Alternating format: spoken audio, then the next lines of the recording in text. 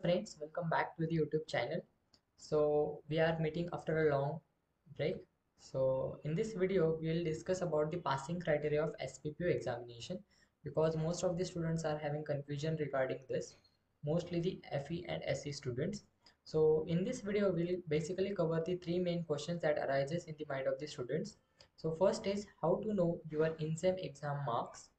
Then what if I have scored less in in-sem examination. And third question is how to maintain pointer or your CGPA if you have scored less in the in-sem so all this confusion will be cleared in this video. So stay tuned till the end of the video.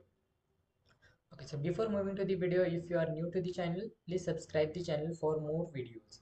Okay so let's move towards the video. So to make your confusion clear i have created a table which will help you to understand the passing criteria for the SPPU examination so here we have some seven cases and related to that we have the remarks that is pass or fail. So in the first case if you have scored 30 marks in the INSEM examination basically your INSEM is for 30 marks based on the two units each unit is having 15 marks. So if you have scored 30 out of 30 in your INSEM examination then you have to score at least 28 marks in your INSEM examination to get your results as passed in that particular subject if you have scored less than 28 marks, your results will be failed in that particular subject. Second case and third case are also similar to the first case where you have scored 20 and 15 marks. But in endsem, you have to score minimum 28 marks to get your results as passed. In the case 4, we have if you have scored 12 marks in your INSEM examination, and you have to score at least 28 marks in the ENDSEM so that it will make total of 40 and your results will be get passed in that particular subject. So most of the students are having confusion in the case 5 or the uh, cases which are having marks less than 12 in the ENDSEM because most students consider that if they have scored less than 12 in the ENDSEM they'll get backlog or they fail in that particular subject but it is not the case that because if you even if you have scored less in the INSEM examination so you can consider the case 5 where we have scored 8 marks and then in ENDSEM you have to cover this marks whatever the gap you have between the 12 and the marks scored so here we have scored the 4 less marks that is uh, the minimum marks you can say that is 12 for the INSEM even uh, but if you have but you have scored 8 marks that is 4 less than the 12 so that 4 marks you have to cover in your ENDSEM examination. So in ENDSEM you have to score 32 marks so that your total will be 40 and your result will be passed.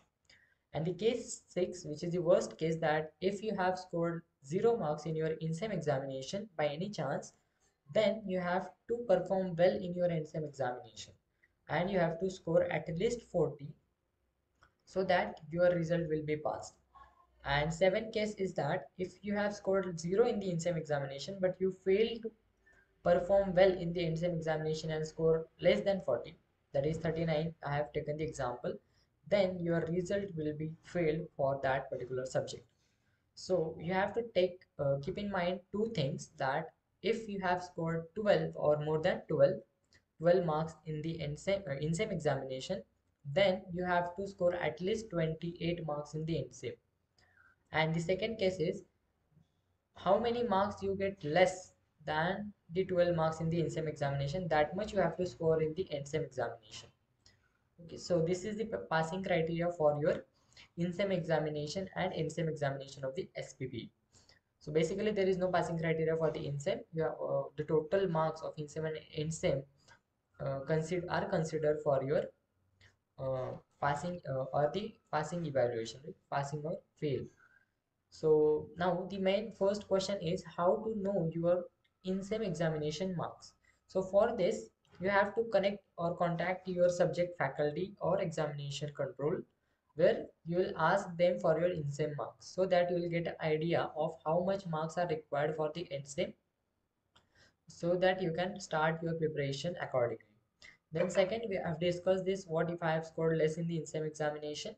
So you have to uh, cover that marks in the ENDSEM and how to maintain pointer if you have scored less in the INSEM uh, obviously by performing well in the exam examination so that your pointer will not be uh, less or will not fall. Okay so you have to maintain your pointer around 8 or 7 plus. So that will be uh, helpful for your placements. Okay so in the next video we'll discuss about the practical confusion that most of the students are having for the final year uh, subjects that is deep learning. Okay so in this video we have covered this passing criteria and in the next video we'll discuss about the confusions regarding the practicals. So if you have liked the video please hit the like button share it with your friends and subscribe the channel for more upcoming videos. Thanks for watching